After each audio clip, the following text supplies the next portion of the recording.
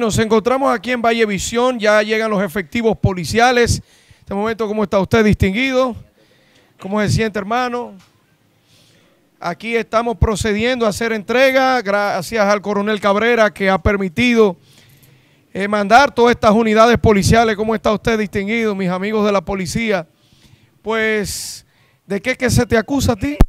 Me acusa de, de robarse una batería. Yo en ningún momento me ha robado batería. Yo estoy trabajando honradamente, por eso vine a entregarme. Pero tú te dedicabas al mundo delincuencial. Y yo sí, pero ya yo he dejado de eso. Tú lo aseguras, tú no estás hablando mentira. No estoy hablando mentira, yo lo aseguro.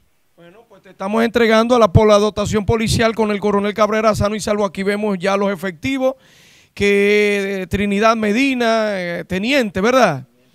Teniente Trinidad, pues ya le hacemos entrega, sano y salvo y gracias al coronel Cabrera que ha permitido que esto sea así para que usted sea investigado y se ha puesto, si hay indicio, a disposición de la justicia. Está bien, gracias.